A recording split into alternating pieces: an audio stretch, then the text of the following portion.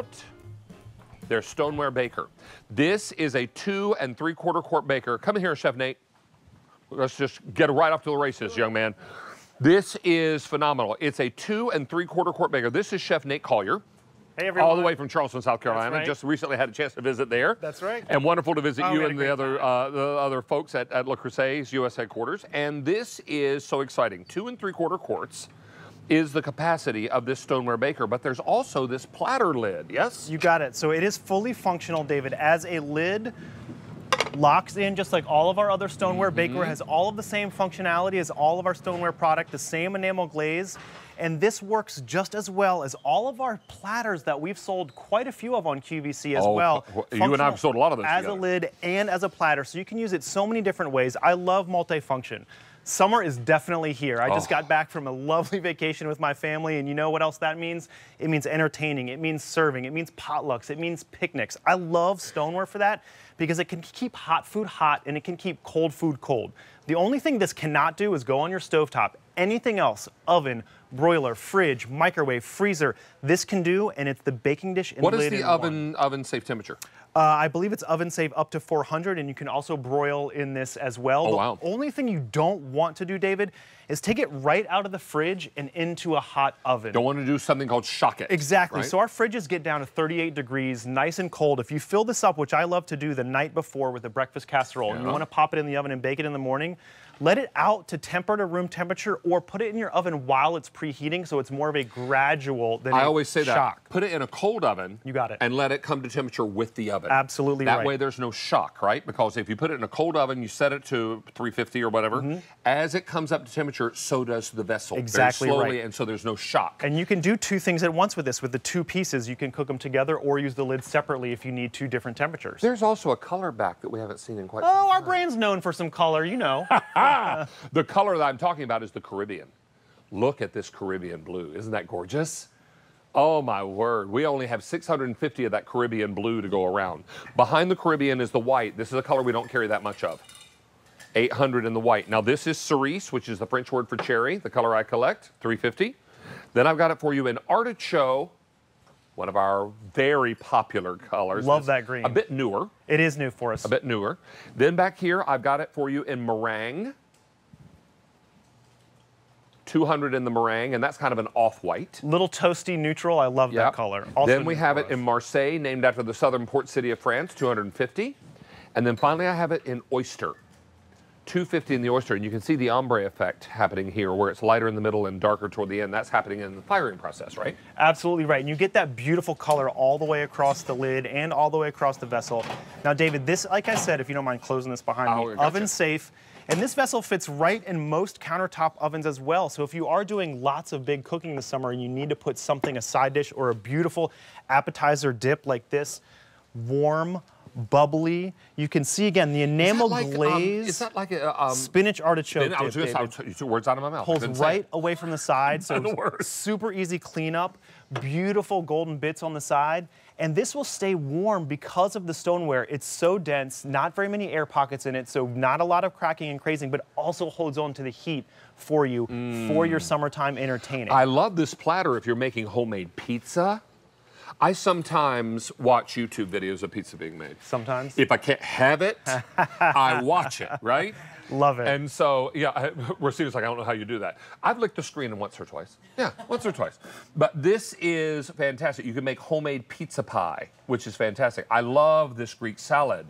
What a that you can great summer dinner. You bake the pizza right on this. You've got this cold in the fridge so the salad Because stays stoneware cold. keeps hot, hot and cold, cold. and you right? can get that prepped and keep it in your fridge. You can take the oh that came out quite fast. The lid with you. Iron Chef Geoffrey Zakarian calls this making it rain. Oh well, you know what? I love that. We did it on purpose, David. And the platter I meant to show it is deep enough so you guys can see to be functional.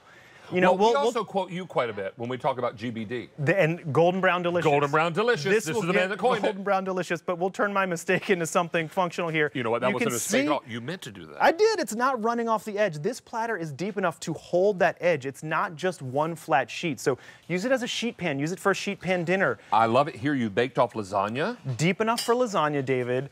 And again, this isn't that large. You saw us pull it out of the countertop oven, but this lasagna could feed eight people, no problem. Easy. And we have the green asparagus on the platter right next to it. So you have dinner with one dish, Um, one let me ask lid. Roro because you know she's part Italian. Um, is lasagna one of your specialties? Not mine, but my mom's. Your mom? Yeah. Oh, does she make it with like different kind of meats? She and teaches. Yes, she does. She well, ground beef, sometimes some pork. So you know what we do sometimes? Just spinach lasagna. Ooh, love that. Um, She does it. And you with know what rico- I with have- ricotta. And in the What I've summertime, a little bit lighter, is, that's lovely. um, Yes. Zucchini lasagna. In, in in place of the uh, the, The noodles. pasta We've done noodles, that yeah, as well. Do zucchini. Great. And that would great. bake perfectly gently in here, David, and hold just the same shape because even heating all the way through, you're not going to get hot spots and mushy on the bottom oh, or on the sides. It's going to be beautiful. Nothing wrong with a little extra ah, cheese well, on you know, come on now. So again, all of these summertime foods can be made from the oven to the table or um, we're going to show that on the screen actually if we're going to show all the different uses of this. The baking dish the platter lid goes on top of that. You can use them together if you're doing the lasagna and you want to use not foil but cover it. Pull the lid off after that to get the nice browning on top the colorful glaze matches all of our cast iron colors perfectly. So while this is not made in the same factory as our cast iron, it's made to the same exacting quality standards we've had for almost 100 years, and these colors will match perfectly and provide the same protection as our cast iron oh. glaze, always. I mean, you just take a little extra time to make something homemade, and then you've got something delicious: peppers And David- and onions and sausage. Grilling, you oftentimes are running back to the kitchen to get something that's clean because you brought your meat to the grill on something else. Right? Bring your hmm. raw proteins marinated or just raw like this to the grill on the bottom. You've got an empty lid on the top, and by the magic of TV, we pulled everything off to the top here so you don't have to go back. You're covered with the raw meat while you walk out because the lid acts as a cover, and then you use the platter when you walk out here.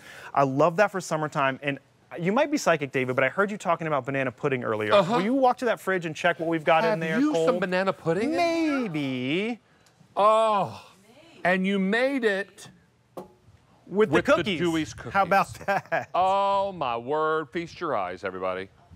Doesn't that look? I grew up on banana pudding. I love it. I would sit on the back porch and eat it out of the container my mother would make it in. And she'd come home and catch me. Oh my word, I love it. We- and we, we have a great video online on YouTube. Um, Nana's Nanner Pudding. My mom's, uh, because her grandbabies call her Nanner, Nana. Love that. so, not Nanner. And so, um, so this is really great. Uh, let's go through colors right quick before we wrap up. This is Caribbean. This is the white. Cerise, most popular. This is artichoke. Back here is meringue. Then I've got Marseille, and then finally the oyster. Well, Chef Nate Collier. David, it's A great. pleasure to have you back, sir. you. And please tell everyone Thanks, at everyone. Creuset's U.S. headquarters we say hello. I will. And thank them again for their I will. Can't wait to see everybody again soon. All right, let's head over because I'm told it's time for some California ice packs, uh, California Innovation ice packs, yes? No, coolers, ice